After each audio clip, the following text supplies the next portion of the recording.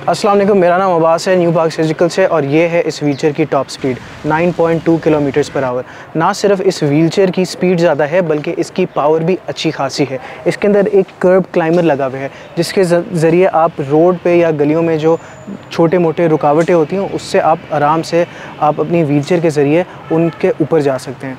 इसके अलावा इसके पास एडजस्टेबल आर्म रेस्ट है जो कि आप अपनी हाइट के मुताबिक इसको एडजस्ट भी कर सकते हैं और आप उतार भी सकते हैं। तो ये बिल, बिल्कुल रिमूवेबल है अगर आपने व्हीलचेयर से बाहर निकलना हो।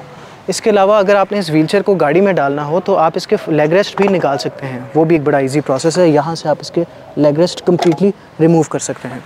इस व्हीलचेयर के अंदर इलेक्ट्रोमैग्नेटिक ब्रेक्स लगे हुए हैं। मतलब इसकी ब्रेक सिस्टम भी अच्छी खासी है। अब आप सोच रहे होंगे कि इसकी मेक क्या है? ये आम चाइना व्हीलचेयर नहीं है, ये यूके इम्पोर्टेड है। हैरियर इसका मॉडल है और हैरियर को आप अगर गूगल पर सर्च करेंगे तो आपको मिल जाएगा कि ये कितनी अपने ज़माने की फ़ेमस व्हीलचेयर थी। इस व्हीलचेयर के अंदर तकरीबन 8 से 10 किलोमीटर की रेंज है। अगर आप इस व्हीलचेयर में इंटरेस्टेड हैं तो अभी zero three two one seven two five seven eight seven four पर रबता कीजिए। फिर अपना ख्याल रखें। टेक केयर और अल्लाह हाफिज़।